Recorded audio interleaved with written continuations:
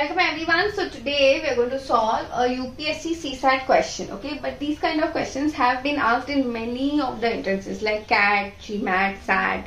Okay, yes, the difficulty level can keep increasing or can keep decreasing depending on the kind of entrance it is.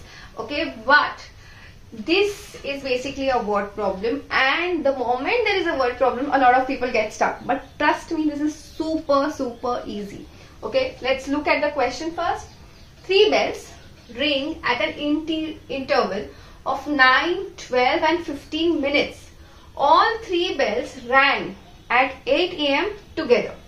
At what time will they ring together again?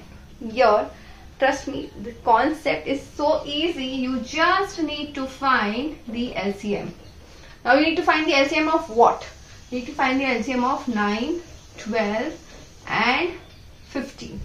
Okay. Now I have explained the concept of LCM to all together in another video where you can find LCM literally orally okay?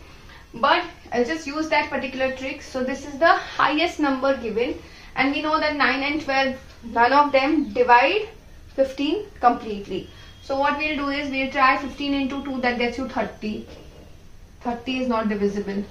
Then 45 again 45 is divisible by 9 but it is not divisible by 12 so then we try 60 and you will see that 60 is also not divisible.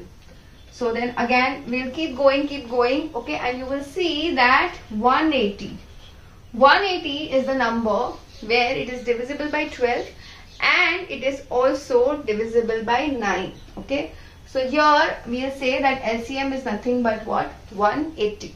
Now if you want to know how to do all of this, please go ahead and check that video. The link of that will be available on top or somewhere in the description. Okay. So now your LCM is coming out to be 180. Now what is this 180? This is 180 is nothing but minutes. Okay. So if you want to convert it into hours, you will divide it by what? 60. And when you divide, you come out of this as 3 hours. So now what you will have to do is just add 3 to 8 am. So that gets you what? 11 am. That is your answer for this complicated looking sum. So that's it for today. I'll see you in the next one.